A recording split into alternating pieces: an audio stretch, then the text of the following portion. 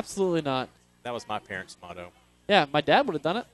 Garrett Ross Johnson under center, drops back, quick pass. Great pass and Oh! interception by number 11. He's going to run it back for a touchdown. Looks like he is at the 15, Yeah. the 10, the 5, One and scored. Number 11 from the uh, CCC Marauders, Ethan Thompson, just running that ball in.